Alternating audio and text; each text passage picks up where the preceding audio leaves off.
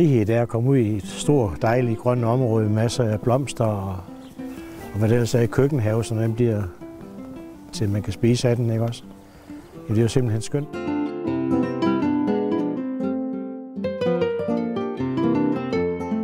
For 23 år siden overtog Mona og Leif deres kolonihave i Fuglsanghaven. Hej, goddag. Velkommen Goddag. til kolonihaven. Vi er i Fuglesang Have, og der er 96 haver herude. Og der er flere, der bor herude. Det er en kolonihave. Og vi har jo stamvejen herude, der går opad, hvor der ligger 10 gårde på hver, si- 10 gårde på hver side. Hvor der er 10 haver i hver. Og så to med 8 i. Og det er jo godt delt op, fordi at, øh, vi ligger sådan lidt for os selv herude i hjørnerne her. Og naturen. Naturen. Masser af dyreliv.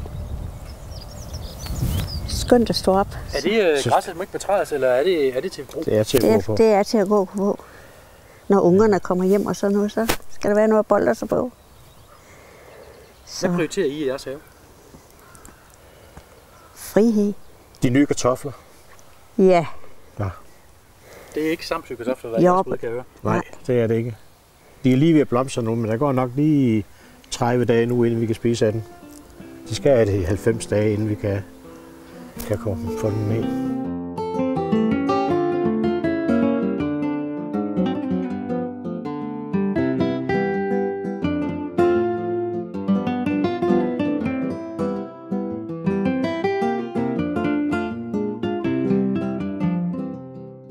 jeg arbejder ude i Tavlesen. Inden for hjemmeplejen. Der boede en gammel dame ude, som jeg har passet. Hun sagde vi til, til mig i to år, nu skulle jeg komme ud og se hendes kolonihave. Og jeg synes ikke, jeg havde interesse for kolonihave, arbejde, hjem og sådan. Det synes jeg ikke, jeg kunne overskue. Nå, men hun fik mig da efter to år aftale til at komme ud og se den her have. Så siger hun, jeg kan ikke passe den mere. Vil du købe den? Og det skulle jeg lige tænke over. Så gik der lidt tid igen.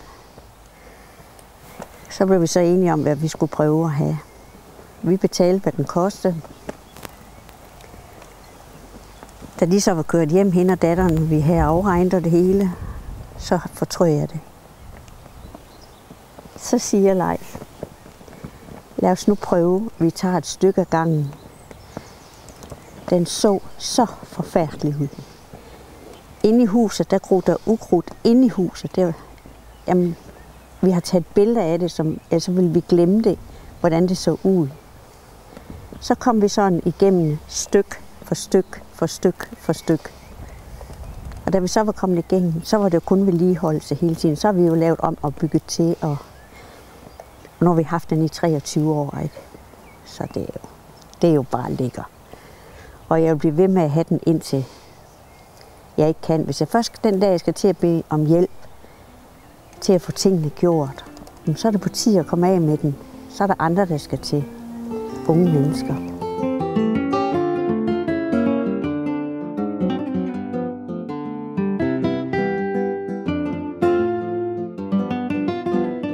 Det er tagetes. Ja. Og Dem det, har- er, dem så vi den 26. Marts. februar, Marts. 26. marts. Og så står de hjemme på terrassen til omkring grundlovsdag. Og så bliver de sat ud. De tåler jo ikke frost, så de skal jo have det lidt godt herude. Det er noget, vi alle sammen selv dyrker. Der er mange. Har I, øh, 250. har I selv dyrket dem fra frø af, eller Ja. er det købt sådan? Det er fra frø af. Vi tager, vi tager frøene fra en plante, vi udvælger. Der har nogle pæne blomster. Og så tager vi bare frøene der.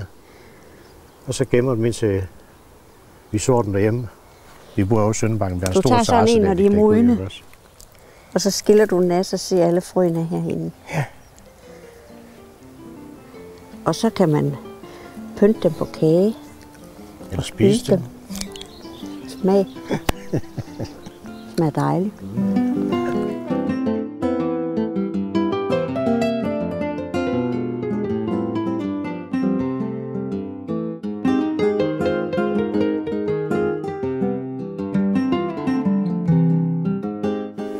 Vi har med lige sat mange øh, sommerblomster. Har vi sat masser af over hele haven. Så vi regner med hen en gang i øh, august måned, september, Så kommer alle sommerblomsterne op, vi har så derude. Så står de op i fuld flor, ikke også? Der bliver det endnu flottere. Så har vi kirsebærtræ og blommetræ. Og det er jo lækker. Når, når den tid kommer, vi skal høste og æbletræer og pæretræer. Hvor meget giver sådan en frugttræ? Ja, det kan give meget mere, end vi kan spise. Os to jo, ikke også? Så deler vi jo så ud til højre og venstre, hvad vi har, ikke også? Vi deler som, vi har et godt kammeratskab herude også. Mona elsker at sætte tænderne i frisk plukket frugt. Hun og Leif har ikke meget fidus til smagen af supermarkedsfrugt. Det, du går ud og køber, der er jo ingen smag i det. Hvis det er det, du dyrker. En følelse af frisk frugt, der lige er plukket. Det smager 100 gange bedre end det, du køber. Som er lagt måske i månedsvis, inden vi får det, ikke også? Jamen bare det gå ud og tage en æble, æble for træet og sætte tænderne i. Og det søjletræ, vi har der, det er et æbletræ. Det plejer at give masser af æbler. Men de er lidt sure, så dem laver vi til gelé. Så vi har til hele året. Vi har ikke spist det sidste endnu. Ungerne kommer hjem, de får også glas med hjem. Det smager godt. Godt så.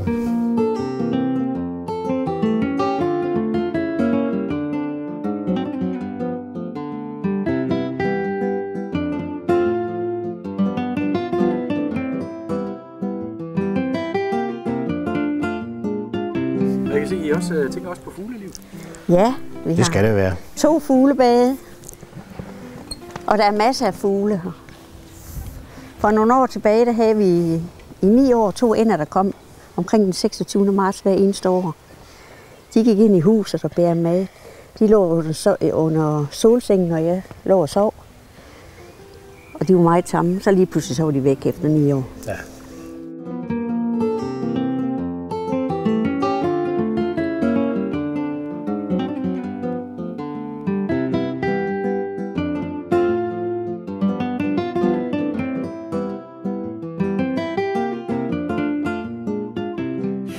Mona har brugt mange år på at indrette haven til det, den er i dag. Det var dog noget af et andet syn, der mødte dem, da de købte haven for 23 år siden. Ja, men det så jo lidt forfaldet ud, da vi kom herud, ikke også? Og, og det, som sagt, så vi først havde købt det der, så siger hun også om, om, om aftenen, da vi kom i seng, nej, skal vi ikke lade handen gå tilbage igen, fordi det kan jeg ikke overskue. Og så sagde jeg til dem, vi tager bare et stykke af gangen, og så skal det nok blive godt at få huset sat på plads igen med på store drundkræfter. Det var cirka 5 cm, der skulle presses ind igen. Jamen, så går det stille og roligt. Så efter som årene går, så bygger vi mere og mere til sådan i enderne der, så vi kan være hårdere hele døgnet. Og vi har fået flere førstepræmier for vores have, så det er jo lækkert. Ja, hver femte år kan vi få en, en præmie. Mona Leifs have rummer også en dejlig terrasse med både hængekøje og havemøbler. Der ser vi jo meget op. Fordi der bliver 40 grader inde på terrassen, så kan vi ikke være der.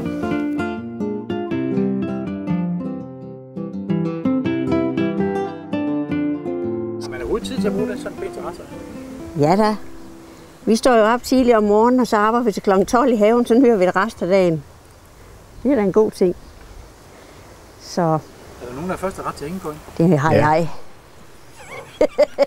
det har jeg. Det, det er simpelthen lækkert.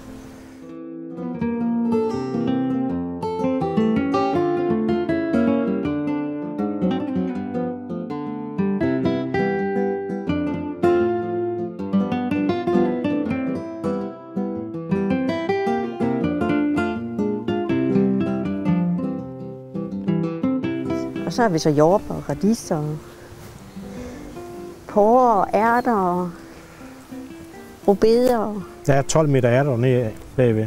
og så har vi vildløg og guldrør almindelig løg, rødløg, spinat, kartofler og hængejordbær.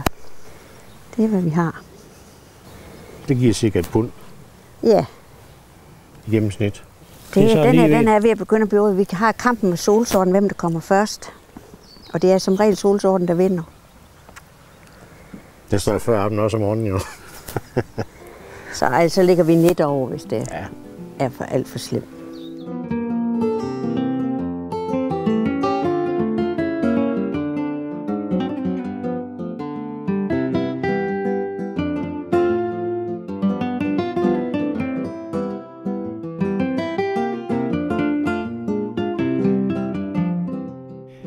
Bagerst i Mona Leifs kolonihave har Mona plantet gulerødder i lange rør.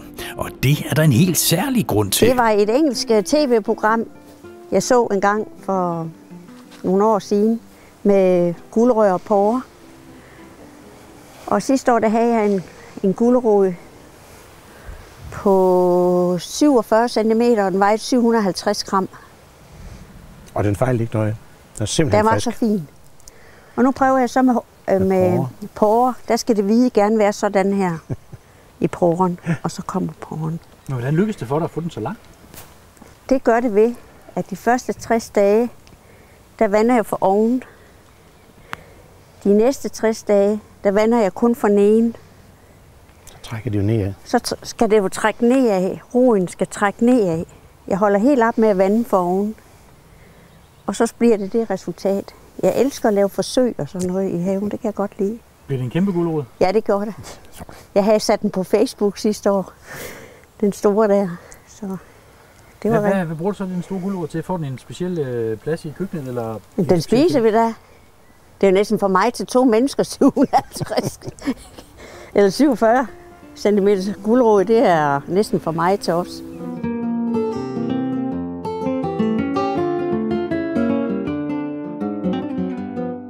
Vi har med at lave en haveplan i januar måned. Og så øh, finder vi ud af, hvad der skal sættes, hvad vi skulle prøve i år, og sådan nogle forskellige ting. Jamen så i marts måned, så begynder vi at så alle de små tegetiser der, og tomater, og hvad vi ellers kan finde, have på plads på 15 kvadratmeter terrasse derhjemme. Den er simpelthen fyldt op med blomster.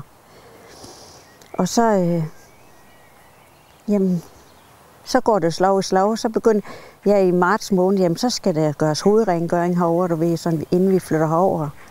Og så flytter vi over i maj måned. Og så er vi her til september.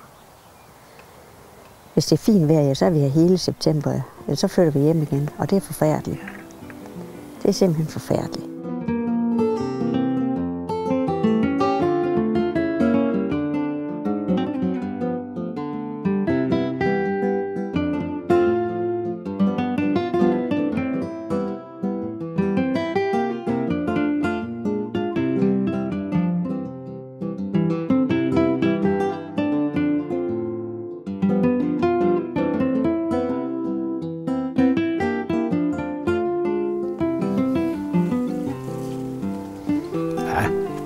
Den fin. Mona og Leif elsker at få besøg af dyr i deres have. Det er dog ikke alle dyr, de to havefolk de bryder sig om. Særligt dræbersneglene, ja, de er ille De skal bare væk. Det skal de. Der drysser vi noget indenom hækken. Jeg kan have salat stående, de rører det ikke. De spiser først det derude, og så dør de ude.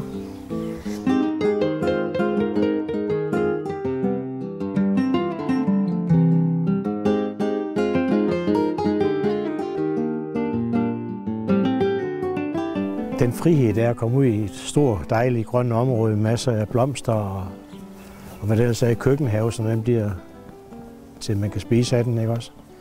Ja, det er jo simpelthen skønt. Og ser blomsterne De Kommer op. eneste dag. Og hele tiden. Og så skulle jeg tisse om natten, så ser man sådan et par rådyr gående over i hegn med kier og sådan noget. Det er også skønt. Indtil de kommer ind og æder dine roser og dine blomster, så er de ikke så sjove mere.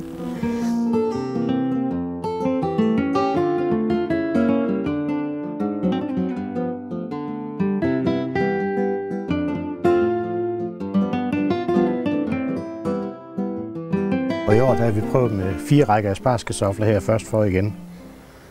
I mange år der er det været så vådt om sommeren, at aspargeskartofler de rådner simpelthen i jorden, fordi der læger sådan et stykke nede. Men nu prøver vi så igen, hvor vi har haft lidt tør sommer her, så kan vi måske få dem igen. Så det er dejligt. Der er mange rækker kartofler. Hvor lang tid 17. 17 17 rækker. Lige til omkring. Det kommer an i- hvor mange børn, der kommer hjem og skal have Ja. kartofler. Ellers er det cirka midt i december, at de kan holde sig. Og hvordan opbevarer I dem? Det gør vi ud i jorden. Klipper toppen af, når de begynder at visle lidt ned. Og så kommer lidt mere jord ovenpå. Og så holder de, så tager, køber vi bare og henter det, vi skal bruge hver dag. Det er fint. Det er fint og så længe der ikke frost er, så opbevares det bedste jo. Ligesom en rorkugle jo. Ja. Så det, det er er jo fint.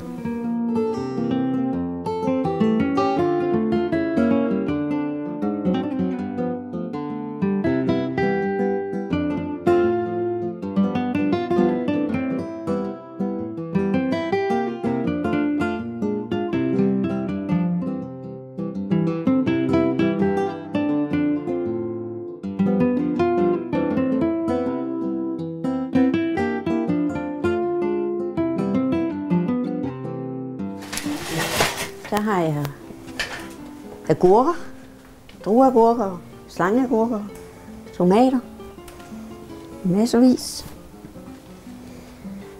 Så det, Og det er simpelthen der, hvor I sidder og drikker kaffe, kan jeg se. ja. Yes. Og så har vi ag- agurkerne her. Jeg fik et års 356 agurker på sådan en plant der. Hvad gør du ved dem? Giver dem ud til højre og venstre og laver agurksalat og agurksalat. Men hvad gør du ved planten, for at den spytter så mange agurker afsted i løbet af en tid? Den får lidt gødning og sådan noget, Ja. når den skal vandes. Den skal have noget at leve af jo. Det gør den. Hvordan er det at sidde i, i og drikke morgenkaffe, og så duften af, af de her planter? Tomat og, Skønt. agurker. Tomater, de dufter jo kun, hvis du rører ved den. Ja. Ellers så kan du ikke dufte noget andet end kaffen. så det er jo lækkert. Der er jo en skrøne, der hedder, at hvis man snakker med, med sin plante, så, øh, så viser, viser sin taknemmelighed. Ja, det og vi det snakker nu. med blomsterne herude. Og, Ja, jeg kan da godt finde på at sige, at Nå, du ser lidt tør ud, du må hellere få lidt vand, ikke? Altså, det kan da godt. Kan du så se, at det giver en forskel? Nej, det kan jeg ikke. Men det gør man. Det gør vores bedstemør jo også dengang, ikke? Men det er jo godt at ånde lidt på den og give lidt kulilde, ikke også? Det er godt. Så får det lidt ild tilbage, ikke? Så det er lækkert. Så her opholder vi så, når det er dårligt vejr. Og her, den kan vi mærke på, når det er varmt i Thailand. Det er fra et swimmingpool i Thailand. De er jo ved at renovere. Og da vi har været der så mange gange, så synes vi lige skulle have en med hjem. Og så hver gang det er varmt, så kan vi mærke her, hov, nu er det dejligt dernede. Men Thailand har vel egentlig generelt godt vejr. Selvfølgelig Altid har 30 det grader. er. Altid 30 grader. Ja. Skønt. Her sover inde, her laver vi mad inde. Har køleskab og tv, og kom bare ind. Der har vi jo seng, vi ud til dobbeltseng. TV, køleskab, gas. Der ser vores solcelleanlæg, som giver os strøm. Men hvor der er hjerterum, der er der også husrum. Så der er sådan, sådan noget, hvad hedder det, septi. ja, der er sådan et eller andet brøndhistorie der udenfor der, hvor det Der er også koldt og varmt vand der. Her i, så det er jo lækkert. Hvad med strøm?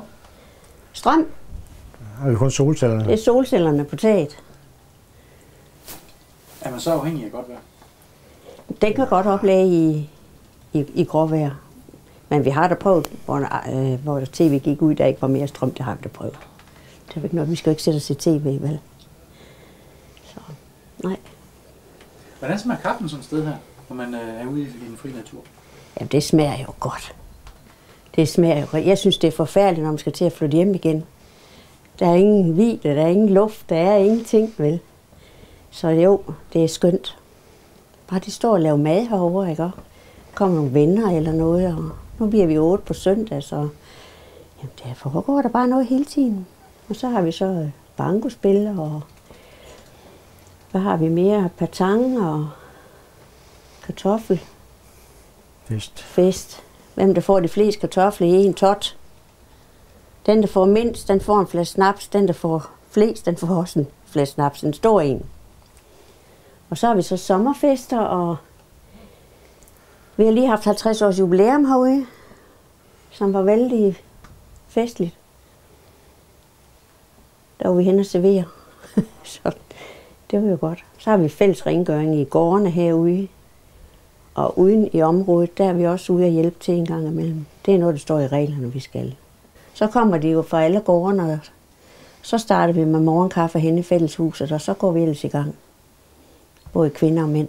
Så det er jo lækkert. Vi får jo en aktivitetskalender over hele sommerperioden, hvad vi skal lave.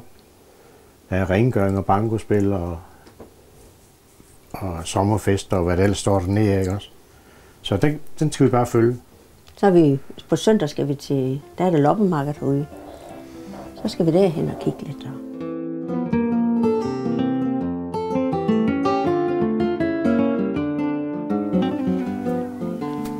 Og Så har vi så vores frilufts brusebad, som bliver sat i til varmvands herinde. Og så tager vi bad og håber, der ikke kommer nogen forbi. Er det så regnvand, du kobler til? Nej, den her Nej, nej. Fordi det skal gennem noget varmt sap. Okay. En varmvands Ingen koldt vand. Men når man bor herude på sådan halvdelen af året, hvad, hvad savner man herude? Herude, ingenting. Nej. Ingenting. Det synes jeg ikke, man gør. Nej, jeg kan ikke komme på noget. Forhold til naboer er fantastisk. Og... Ja, det er er, vi har en dejlig... Nej, nej, nej, det er det ikke. Og nu på søndag, der kommer nogle af vores naboer hjem fra, øh, fra blokken, hvor vi bor. Kom på besøg herovre, for at se, hvordan vi har det. Så jo, vi har det, Det godt. dejligt. Også med dem ude i gården og sådan noget. Det- Hovedsageligt. Manden inde ved siden af, han er 92 år. Ham skal jeg så også ind til. Han er fantastisk. Han har haft have lige så længe, som vi har 23 år. Så det er dejligt.